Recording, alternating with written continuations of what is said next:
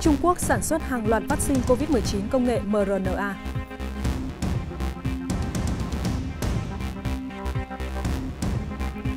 Hàn Quốc hướng đến mô hình sống chung an toàn với COVID-19.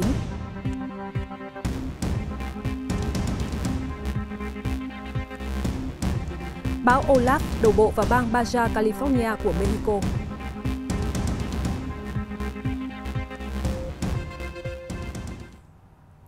Thưa quý vị, truyền hình CCTV của Trung Quốc cho biết, Chủ tịch Trung Quốc Tập Cận Bình và Tổng thống Mỹ Joe Biden đã nhất trí duy trì tiếp xúc thường xuyên và đề nghị các nhóm làm việc tăng cường liên lạc.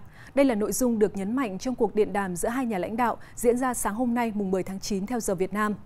Trong cuộc điện đàm, Chủ tịch Tập Cận Bình cho biết chính sách của Washington đối với Bắc Kinh đã gây ra những khó khăn lớn và việc đưa quan hệ hai nước trở lại đúng đường đóng vai trò quan trọng đối với vận mệnh thế giới. Về phần mình thì Tổng thống Joe Biden đã truyền thông điệp rằng Mỹ muốn đảm bảo sự cạnh tranh năng động và không có bất kỳ tình huống nào trong tương lai khiến cho hai bên rơi vào xung đột không chủ ý. CCTV cũng cho biết hai bên đã nhất trí duy trì tiếp xúc thường xuyên. AR-COVAX, vaccine ngừa COVID-19 nội địa đầu tiên của Trung Quốc dựa trên công nghệ mRNA, dự kiến sẽ được sản xuất hàng loạt vào tháng 10 tới. Giới chuyên gia nhận định điều này chứng tỏ Trung Quốc đã nắm được công nghệ vaccine mRNA cốt lõi giúp thúc đẩy chiến dịch tiêm chủng đại trà vaccine COVID-19. Theo Global Times, so với vaccine mRNA do Mỹ và Đức phát triển, thì vaccine ARCovax có độ an toàn cao hơn, cũng như là tạo ra nhiều kháng thể hơn, chi phí bảo quản cũng thấp hơn so với vaccine của các quốc gia khác vì chỉ cần tiêm một mũi và có thể được bảo quản ở nhiệt độ phòng trong một tuần hoặc ở nhiệt độ 4 độ C trong thời gian dài. Bộ Y tế Indonesia hôm nay đã yêu cầu chính quyền các địa phương áp dụng hình phạt đối với những người bị phát hiện tự ý tiêm mũi vaccine COVID-19 thứ ba theo các quy định hiện hành thì chương trình tiêm chủng nhắc lại hiện mới chỉ dành cho nhân viên y tế và nhân viên hỗ trợ làm việc tại các cơ sở chăm sóc y tế. Tất cả các hình thức giám sát liên quan đến quá trình tiêm chủng, cả mũi 1, mũi 2 và mũi tăng cường đều thuộc thẩm quyền cấp tỉnh, huyện, thành phố ở Indonesia. Nếu phát hiện vi phạm, chính quyền địa phương sẽ cùng cơ quan pháp luật áp chế các chế tài. Kể từ khi khởi động từ giữa tháng 7 đến nay, hơn một nửa số nhân viên y tế Indonesia đã được à, tiêm tăng cường mũi thứ ba.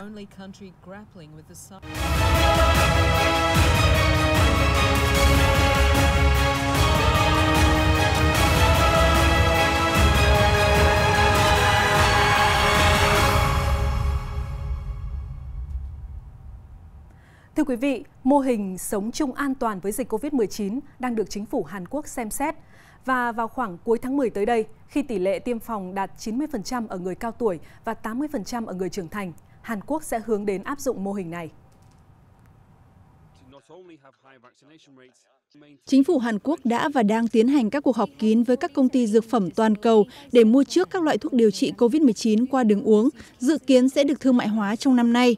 Trong số các công ty dược phẩm toàn cầu, hãng dược Merck của Mỹ đã đi trước các đối thủ cạnh tranh trong việc phát triển thuốc điều trị COVID-19 đường uống. Thuốc Monupiravir của hãng đã được chứng minh là có tác dụng cho một số mô hình SARS-CoV-2, bao gồm điều trị và ngăn ngừa lây truyền.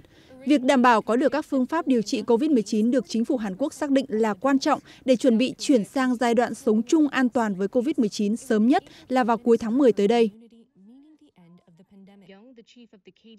Thuốc điều trị COVID-19 sẽ giúp điều trị bệnh nhân trong giai đoạn đầu và ngăn ngừa bệnh chuyển nặng. Điều này sẽ góp phần cải thiện công tác phòng, chống dịch COVID-19 của đất nước. Chính phủ Hàn Quốc hiện đã đảm bảo nguồn ngân sách để mua thuốc điều trị COVID-19 cho khoảng 18.000 người ngay trong năm 2021 và có kế hoạch phân bổ tiền vào năm tới để mua thuốc cho khoảng 20.000 người dân. Bên cạnh đó, Hàn Quốc cũng đẩy mạnh công tác tiêm chủng để có thể đạt được mục tiêu hoàn thành tiêm cho 90% người cao tuổi và 80% người trưởng thành vào cuối tháng 10 tới đây. Chính phủ Hàn Quốc đang thảo luận kế hoạch tiêm chủng cho các nhóm thanh thiếu niên và phụ nữ mang thai. Chiến dịch tiêm chủng cho các nhóm liên quan dự kiến sẽ bắt đầu trong quý tư năm nay. Vì mức độ an toàn chưa được kiểm chứng đầy đủ, chính phủ Hàn Quốc tạm thời không xem xét việc tiêm chủng cho trẻ em từ 5 đến 11 tuổi. Kế hoạch tiêm mũi vaccine tăng cường cũng đang được chính phủ Hàn Quốc xem xét. Dự kiến một kế hoạch chi tiết sẽ được đưa ra sau khi tham khảo các kết quả và dữ liệu lâm sàng ở các quốc gia tiên tiến như Anh và Mỹ.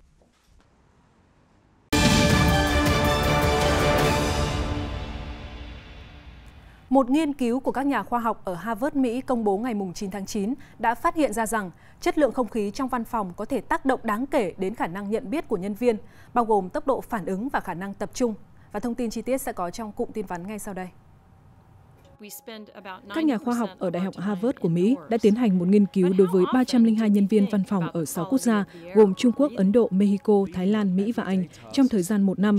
Kết quả cho thấy chất lượng không khí đã ảnh hưởng đến hệ thần kinh trung ương và gây thoái hóa thần kinh của các nhân viên. Các nhà nghiên cứu khuyến nghị một số biện pháp đối với các nhân viên công sở trở lại làm việc tại văn phòng. Trước tiên là mở cửa sổ. Ngoài ra, cần nâng cấp hệ thống lọc khí của tòa nhà hoặc bổ sung các máy lọc không khí cầm tay cũng là biện pháp hiệu quả. Iceland vừa khởi động nhà máy thu khí CO2 trong không khí và biến loại khí thải này thành đá. Đây là nhà máy thu khí CO2 lớn nhất thế giới. Nhà máy có 4 tổ máy, mỗi tổ máy gồm hai khối hộp kim loại có hình dáng giống các container trong ngành vận tải hàng hải. Khi đi vào vận hành, nhà máy này có công suất hấp thụ khoảng 4.000 tấn CO2 mỗi năm. Theo cơ quan bảo vệ môi trường Mỹ EPA, lượng CO2 này tương đương với lượng khí thải từ khoảng 870 chiếc ô tô. Ngày 9 tháng 9 theo giờ địa phương, bão Olaf đã đổ bộ vào khu vực nghỉ dưỡng Los Cabos ở mũi bán đảo Baja California, Tây Bắc Mexico. Hai cảng Cabo San Lucas và San Joe de Cabo đã đóng cửa không cho tàu lưu thông, trong khi các doanh nghiệp khai thác du lịch di chuyển tàu thuyền tại cảng Cabo San Lucas vào nơi neo đậu an toàn. Các cửa hàng che chắn cửa và cửa sổ, trong khi người dân xếp hàng để mua hàng trong các siêu thị vào phút cuối trước khi siêu thị đóng cửa. 37 chuyến bay của các hãng hàng không trong nước và quốc tế đã bị hủy do cơn bão. Người dân được kêu gọi sơ tán đến nơi trú ẩn. Các nhà khoa học Hàn Quốc vừa phát triển vật liệu da nhân tạo lấy cảm hứng từ sinh học tự nhiên, có thể nhanh chóng thay đổi màu sắc như là tắc kẻ hoa để phù hợp với môi trường xung quanh. Nhóm nghiên cứu do giáo sư kỹ thuật cơ khí Ko Seung Hwan, Đại học Quốc gia Seoul Hàn Quốc đứng đầu đã tạo ra làn da bằng một loại mực đặc biệt có thể thay đổi màu sắc dựa trên nhiệt độ được điều khiển bằng các lò sưởi nhỏ một cách linh hoạt. Nếu bạn mặc quần áo ngụy trang trong rừng cây ở sa mạc, bạn có thể dễ dàng bị lộ diện. Thay đổi màu sắc và hoa văn một cách chủ động, phù hợp với môi trường xung quanh là chìa khóa của công nghệ ngụy trang mà chúng tôi đã tạo ra.